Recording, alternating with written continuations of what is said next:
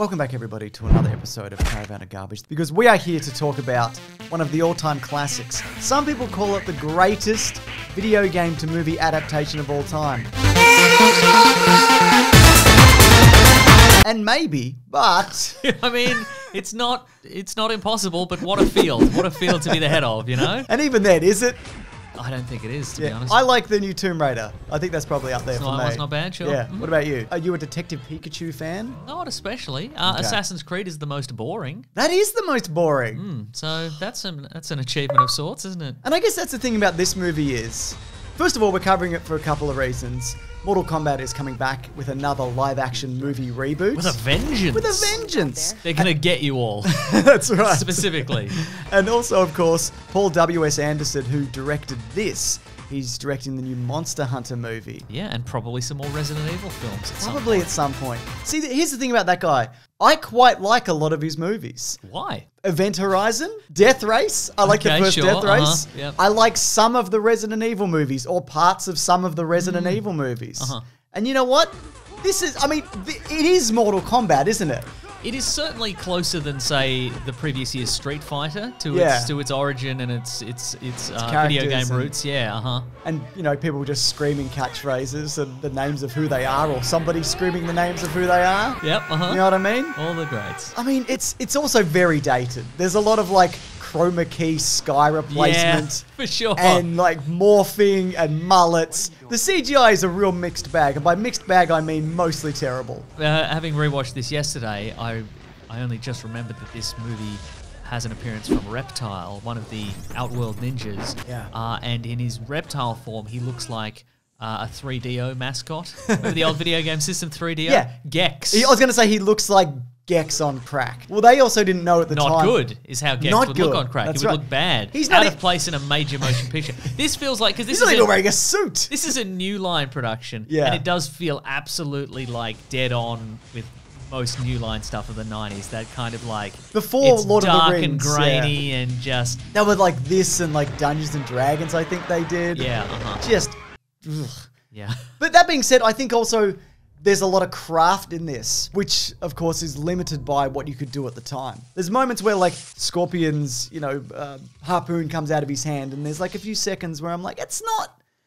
It's okay. That's an interesting take because in the game, obviously, he just throws like a like a dagger or a spear with a rope on the end. Yeah. And in this, they were like, let's just say like a nightmare dragonfly snake creature That lives in his screams? hand and it screams. Also, if you miss and hit a tree, it dies. Yep. Okay. yep. It's a separate entity, I guess. Uh huh. Also, uh, they decided that in this movie that Scorpion only speaks in variations of his catchphrase "Get over here." So sometimes he might say "Get down here," "Get back here." That's Ed Boon. He's doing it. Ah, yep. uh, creator of Mortal Kombat, or one of. I think also there is some very good casting in this, and some not as good casting. And some bad casting. Some bad casting. I think Liu Kang is excellently cast. Yeah, he later returns in a number of um, Death Race movies Oh yeah, he does because too. they, I guess I guess he and W.S. Anderson are friends. of course he does. Shang Tsung is amazing. Yeah. I mean that, that that's the standout performance from this, right? There's there's so many lines from this which then are folded into like other Mortal Kombat games and media and things Your like that. soul is mine. soul is mine! Your brother's soul is mine. Did it- that guy's soul also mine? How come he gets the souls at the end of the fight? I think it's Good greedy. question. It's like, you know, when you have a pizza and there's the last bit and someone's like, yeah, I'll have it. No, I'll give it to me. Yeah, it's the It's like, no, we're being yeah. polite, idiot. Well, there's still one piece of pizza. Yeah, but nobody wanted it. Nobody wanted the it. soul. Nobody wanted the soul. So I guess what's God got to take the soul? I'll take the soul. You're exactly right. And this, it's interesting that this, because obviously the plot of Mortal Kombat is that there is a martial arts tournament between Earth and the Outworld, the, the mysterious Yeah. uh, uh, evil realm. And if they, if the if the forces of Outworld defeat the forces of Earth, then Outworld gets to take over Earth. So the the good guys got to win in this tournament. Yes. It, there's so much to, to unpack about the tournament, I think. But I think the number one is that there is a very rapid escalation between just like a couple of dudes fighting on a beach with sticks, and then like a day later, you have to fight like a four armed Goliath monster. You know, just Yeah, on a precipice. Yeah. yeah, you're exactly right. Yeah, they're just like on a beach and there's some sticks. And then it's like, you're in a forest randomly Sure. and now you're in hell. It's just like, Okay. I'd be more worried if I went to hell. I'd be like, if I win this, am I stuck here? If I kill him, do I live here now? Right? Yeah, yeah. You know? You'd be asking a lot of questions as somebody's chasing you with a flaming skull or a dragonfly snake. exactly. What they actually aim to do in this, I was watching some behind the scenes stuff where they're like, Hong Kong action movies are terrible. Like the lighting's bad and they're cast weirdly and they don't look good. That's what they were saying. This is what they were saying. This I'm, I'm paraphrasing, but this is it, right? But they're like, but the action's good. So what we want to do, we want to combine Hollywood filmmaking techniques, but we're gonna we're gonna borrow their action. So we're gonna combine it. We're gonna take the best element. We're gonna take the only good thing they can do because everything else is utter dog shit, and we're gonna make the best movie ever made. But I would argue that the martial arts in this is. Well, clearly some people can do it and some people cannot. Yeah, right. Uh-huh. Yeah. Yeah. Some people are just acting. That's but right. yeah, this this was not the movie that broke Hong Kong martial arts action into the West into into Hollywood. That was The Matrix four years later. I was gonna say that was the movie Face Off. Oh yeah, maybe. but yeah, this is again they they tried. Yeah. But they just I mean they said you know they were like well we've seen a few of these Hong Kong action movies, but clearly they hadn't like absorbed what made them Yeah. great and the you know the long continuous shots and the, the long combinations of moves and stuff like that. Clearly they were just like. Get a guy to sort of do a cartwheel off a rock or whatever. Great movie. Exactly. That's what these movies are about. Well, because this was Paul uh, W.S. Anderson's first major movie, he would film the fights in one continuous shot and he would tire out all the actors. And it had to be like people pull him aside and be like, this is not how you do it. Like you film it in pieces. So he was right. He was, well, but I think also when you just, you know, film everything wide Yeah. and it's not choreographed that well, Yeah. it doesn't look great, does it? But I guess in the sense that that again, going back to the Matrix, there was a lot of training for those movies. There was months and months of martial arts training and endurance training. So it was like, Yeah. okay, let's do ten movies in a row and, and film it like that. Yeah. Whereas in this, I guess they were just like, Can you sort of do a sweep kick? Yeah. There's some really poor sweep kicks in this, mm-hmm. Mason. Have you seen these? Johnny Have I seen this movie? Yeah, I know. You've said Johnny Cage does one early on, and then Sonya Blade does one later. well, Linden Ashby, who plays Johnny Cage, is a professional mar- martial I don't artist. believe you.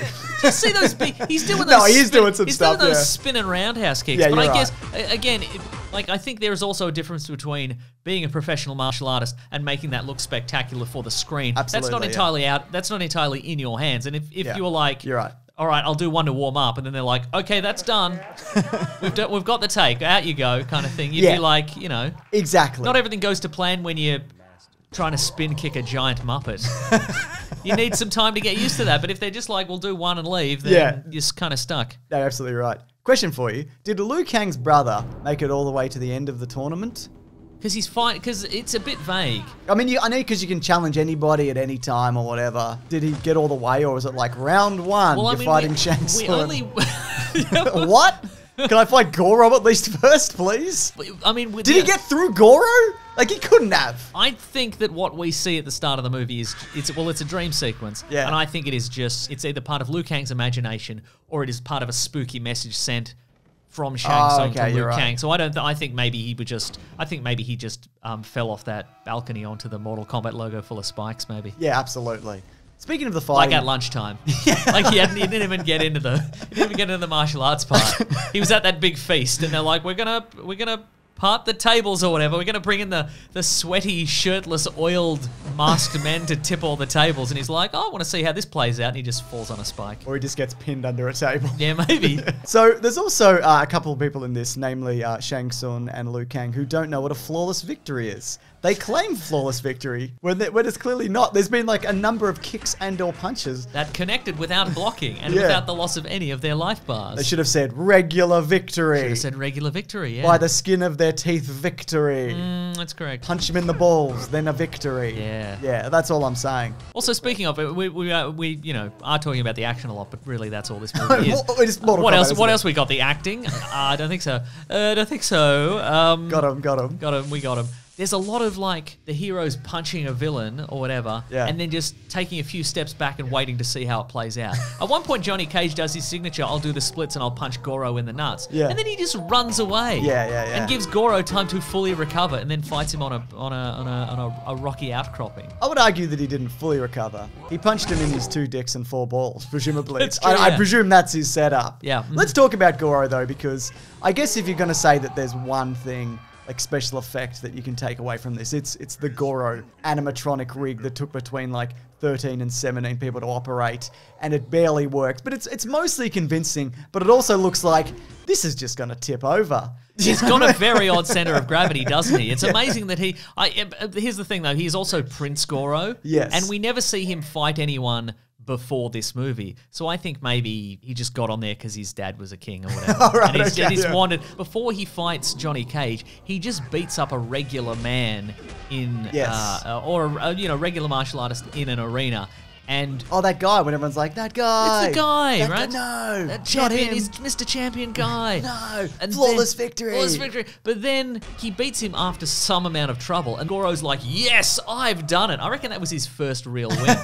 he just looks threatening. He's one of those guys who looks really big Yeah. and, and, and dangerous, so nobody ever actually tries to fight I him. think you might absolutely be right. I think in his kingdom, you know, he's he's like a, a real oddball with a with an odd center of gravity. Yeah. On my planet, I am kind of a loser. And so like no one wants to. All the other him. Goros like distracts him, and the second crouches down behind him, and the first Goro pushes him over. That's right, But exactly. speaking about everybody going like, no, a lot of that. there's a great deal of people absolutely not getting along, and then at the end they realize they're all the best of friends and in love. Did you, mean, notice like that? Sonya and Buddy. Yeah, yeah. uh, whatever his name is, The- Mr. Carry My Bags. Yeah, Mr. Carry My Bags, Mr. Johnny Cage. Sonya's acting uh, uh, tip, I think, was I think Paul W. S. Anderson was just like, just scowl with disdain at ev- sneer with disdain at everything. Yeah, absolutely. this entire movie. also, there's a scene where we're going to tie you up and tease your hair. Just tease it That's right out. You know what I mean? Yeah, sure. I remember that shot when it pans up the tower and you see her in there, and it's just she's clearly on a weird green screen. Yeah. I loved it. I was like, this. I is- loved all the parts where they're climbing a massive tower, but it was just a green screen. Johnny Cage loses his bags down a massive green screen. He certainly It's does. Pretty yeah. great, right? That's it. So we get a number of classic characters, including Sub Zero, right, Mm-hmm. who have- is under the influence of Shang Tsung, along with Scorpion. Not that that matters at all. No. It's like hinting at a backstory which is filled out in some video games, which you may have played going into this. But I would have preferred the entire backstory l- laid out. okay, well, actually, um, um, Scorpion thinks that uh, Sub Zero killed uh, his his family. it was actually Quan Chi. It was, was revealed in uh, Mortal Kombat 4. That was the first. Uh, that This was is years later, Yeah, they the took way. it into the fighting games, into Mortal Kombat, into the 3D realm. It was actually it was a different kind of style. It wasn't the photorealism that they'd used prior. It was a big departure from Mortal Kombat trilogy. Cut for time. Also, those games hadn't come out yet. Yes, but exactly. Mm. uh, yeah, you're right. Uh, uh, Sub Zero um, follows the uh, Avatar: The Last Airbender movie version of preparing for a fight. Ah, yes, Whereas yes. you just stand there for a really long time while you summon your energies, and your opponent could probably literally do anything to you while Yeah. while you were summoning a, like a little ice ball or whatever. Exactly. And also his weakness, uh, as we find out from Katana, is you can throw some water at him. But also, we- no time for this riddling around where it's like, you must use the element which is close, whatever it is. I can't remember. She gives him a riddle when they're fighting. It's what brings life. That's Defeat him with right, what brings exactly, life, yeah. Which is water. Dirt. Vitamin pills? Sun. family. You must defeat him with your family. Circle him and hit him with brooms. Uh-huh. but uh, Shang Tsung knows that she's like betraying him and can't hear what she's saying. Just tell him, just like, throw a bucket of water at him, mate. Just chuck a bucket of water at him. It's.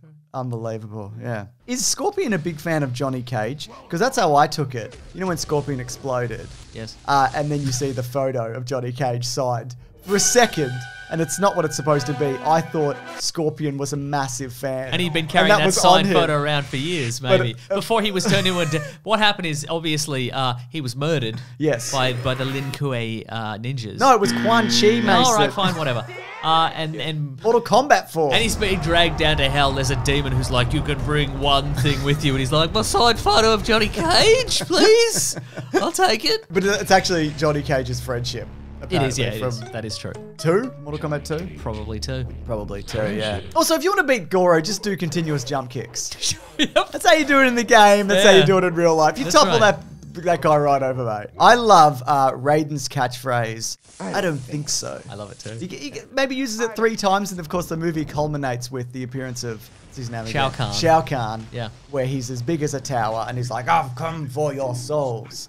I don't think so. And then there's the pose. Now I know there's a sequel to this movie, which we will talk about Ugh. uh, next. But how's that fight got to go? Really? Like if they had made a proper sequel and not a bad sequel, you're gonna well fist fight him? Uh-huh. Yeah, they You're would have clambered up like Shadow of the Colossus. Punched him in the ears. Okay, yeah. man. You're absolutely right. Yeah. The soundtrack. Uh, we had a debate prior to this. Oh, yes. Uh, recording. I said it was a massive success, and you were like, it wasn't a massive success. I yeah no look well Wikipedia's told me Mm. that it wasn't a massive success but I mean that uh, does not gel with my experience with it as a kid which was that it was everywhere all the time Yeah. and everybody loved it Go into an arcade, it's playing. in a way James Mm. uh, it was the imagine of our time it really was, because it wasn't brought it? people together can you imagine how different the year 2020 would have been if Gal Gadot had gone and posted on Instagram a video of herself like looking sort of beatifically at the camera and then going bam bam bam bam bam bam bam bam bam bam bam bam bam bam bam bam bam and then Kristen Wiig like Mortal Kombat ba-da, ba-da, ba-da, ba-da, ba-da, ba-da," you know I think this is controversial because I know it's beloved and it was uh, the first EDM record to ever receive a platinum certification in the United States, but it's a bit much. is it really Maybe I'm just getting old, but it's just like. It's from the second it starts. Yes. It's just like unrelenting. It's like being waterboarded. We're talking specifically about the single, Yes. which is called Techno Syndrome by the Immortals, which people know as the theme to Mortal Kombat. Yeah. Which was in a couple of the games, it was in the movie. Yeah. Uh, I know but- it's blasphemy yeah, to say that. But, it is, like, it is, it is. It's like sideways hail hitting you. Do you know what I mean? It's just like coming Well, at what you. I forgot, because I hadn't listened to it in a while, what I've forgotten that is, in addition to being the bam bam bam, there's just samples of all the character names from, oh, the, yeah. from the game. There's the, the announcer saying, test your might. There's just constantly that effort of like somebody being hit where it's like, uh, that's what I mean. It's right? a bit much. it's incredible. Yeah. So this though, it's interesting because it does inform a lot of what is to come in Mortal Kombat. Uh-huh. So cast members, of course, have cameoed in like Mortal Kombat 11. They they come back and they voice and they get like kind of reskinned. And there's also things in lore that have been changed. I think Kano was originally supposed to be Japanese, but because he's played Australian, Ish. which I, yeah, well, I think Paul W S Anderson thought that the actor who played him was Australian. And that's why he's Australian, but I think he might actually be British in this. I can't Okay. tell what they're doing. But Paul up W.S. Anderson was like, "So you're Australian, huh? Let's we're thinking about giving you a bigger role, and your character will be Australian." This guy's like, "Yeah, governor." yeah, Hey. absolutely. Yeah. Yeah, that's, an, that's an Australian expression, isn't it? Yeah, it definitely, yeah, absolutely, it is. Uh, maybe maybe the character's name originally was Kane, and they're like, well, Why Kane, not? Kano. Kano, mate. So uh, I got some Mortal Kombat trivia here, but uh, the trivia's with a K. So it's Mortal Kombat trivia. Great. You happy with that? I'm very happy with it. Yeah, good. So Van Damme actually turned down the role of Johnny Cage to appear in the Street Fighter movie, which of course makes sense because they wanted to model the original Mortal Kombat game around Van Damme. That was the idea. Johnny Cage is sort of a fading martial arts superstar. Hmm. Is is in many ways reminiscent or, or modeled on on Van Damme. Yeah. Which is interesting because Van Damme then later went on to be in the movie JCVD, where in fact he is Yeah. a failing version of himself. exactly. I want to play that game. yeah. yeah. Uh, Steven Spielberg was a fan of the game and was supposed to cameo. He couldn't make it, but of course there is the director who's like, "We need you, Johnny Cage." He just he looks like Spielberg. yeah. Uh, Spielberg, of course, uh, went on to cameo as himself in Austin Powers Three. So you know, dreams come true. Uh, He's like, oh, I guess I'll be in this renowned comedy franchise. Sean Connery was the first choice to play Raiden. Connery, however, turned down the role as he wanted to play golf and wasn't interested in a physical role. Uh, but of course, we get Christopher Lambert. He didn't want to do that one time where he flipped Liu Kang, but Yeah, just the once. Well, that's the thing. So Christopher Lambert was the highest billed cast member. He was paid the most. Also, he flew himself out on set because he was only supposed to do like the in studio appearances. Okay. And he doesn't do much fighting, if any. But apparently, he was like really gracious and really kind of brought like like up to the production kind of situation. He kind of made everyone feel more at ease. I think he's good as Raiden. I, like so him. too, yeah. There's a bit of a wink and a nod. You know what I mean? It really is. Yeah. And he didn't come back for the sequel, if I recall. So. no, James Remar. Ah, from Sex and the City. That's right. Uh, and no other things. That's right. That's exactly right. Uh, Cameron Diaz was cast after producers saw her dailies from The Mask. However, Diaz broke her wrist during training, so she had to drop out. So they did train for this, some of them. Seems that there way. you go. Speaking of training, I do have some questions about the Mortal Kombat tournament. Here we go. Is there some sort of magical reason they can't tell the participants from Earth that they need to beat this tournament to save the world prior to immediately inviting them to it? Because Like, nobody knows what they're walking into. Like right? maybe you could have said, "Hey, in ten years, Mm. you know this thing happens once in a generation. Well, maybe you could get good at this so the world doesn't end. Yeah, I guess Liu Kang sort of knows, but he doesn't believe it, even though he saw it in his mind. You know what would have helped him? What's if that? Raiden showed up and was a lightning man. Maybe then Liu That Kang would would believe in the powers of people Yeah. with lightning. and like trained him how to do like his his like Signature fireball, his, yeah. Hmm. and kicks and stuff. Remember he did that kick? I remember he did a kick. He's good, man. He's doing some good martial arts. That dude. He knows what he's doing. Uh, anyway, back to Krivia. Um, so, according to the actor who played Johnny Cage, Linden Ashby, the medic on set in LA also acted as a set security guard, and the man took his job very seriously. When Tom Cruise happened to be in the area and came to take a look at the set, the medic sent him off. Since Cruise wasn't in the movie. Nice. Even blocking some Tom Cruise, mate. Right. He's the Johnny Cage of this era, I think, maybe. he is, yeah. Yeah, I think he is. He gains his power from the Shadow Realm. He's a he's long descendant of, of, of some sort of demonic force. Exactly. And of course, also, there's been a number of kind of spin offs and situations that spawned just from this movie alone, right? Mm-hmm. So there was an in betweenquel animated movie called Mortal Kombat The Journey Begins, which was released before as like a primer to be like, get ready for Mortal Kombat. Anyway, You won't understand this movie if you don't read the if you don't see this. I, uh, it's, it's set on the. There's these dudes and they fight. You, you won't even, you don't even know, mate. So it's bad, and it's set on the boat on the way to the tournament. Oh, like And- that episode of Dracula. Exactly, like that episode of Dracula. There's also some moments where they put in some uh, a bunch of like 3D stuff. Oh yeah. Atrocious. And also there was, I believe, a Mortal Kombat live on stage production of some sort, right? I think some of them, it might have been the guy who played Kano reprised his role. Cool. I might be wrong. and there was Mortal Kombat on Ice. Was it all Sub Zero? Yeah. Great. The dancing Sub Zeros, yeah. Just pirouettes. yeah, Just yeah. again and again. And there was Mortal Kombat in a pit of fire. what? It was all stuntmen in scorpion suits just burning alive. Dangerous. It's very dangerous. But that's Mortal Kombat, isn't it? Mm-hmm. You know what I think also? It's a PG 13 movie, but it's not entirely toothless. They get around a lot of the deaths by being like, ah, you can cut through like a scorpion because he's a skeleton man and who cares? Yeah, right, uh-huh. But you don't see like a lot of people super impaled. No, you see the bad guy get super impaled, but not super Mortal Kombat impaled. Sure, you know yeah. what I mean? Yeah, yeah. Yeah. So, uh, just to cap this off, quickly after this movie's box office success, Paul W.S. Anderson was asked by New Line to helm the sequel. But he had his mind set on doing something completely different, which is why he did Event Horizon, and he later expressed some regret over not being involved with the making of Annihilation, which he disliked, and it was one of the reasons why he remained involved with the making of the Resident Evil movies, because he wanted to shepherd the franchise. so lessons were learnt, Mason. So his his whole deal was I want to be at the helm of the Resident Evil movies because if I don't, they'll be really, really bad, and I just want them to be kind of bad. That's right. And also only some of them. Because he only does some of them. That's right. Anyways, this has been Mortal Kombat 1995 Mortal Kombat. Uh, the next episode we'll be back to talk about Annihilation, I guess. Great. Um, Can't wait to talk about those weird spheres they get into if they want to whiz around the tunnels that exist under the earth. I don't remember. I've only seen pieces of it, but I remember hating it. It's the worst.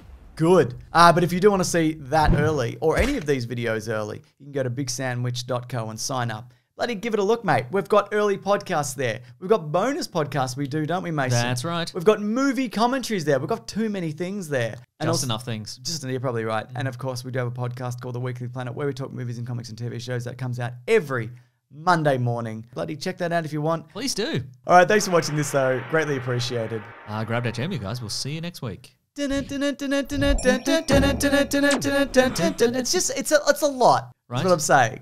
You could have like have some build up, Yeah, have some low points. Who do you think would have said test your might? Do you think it would have been Will Ferrell or Pedro Pascal in the video? Pedro Pascal, Yeah, right? Yeah, yeah, good, yeah, good. That would be a good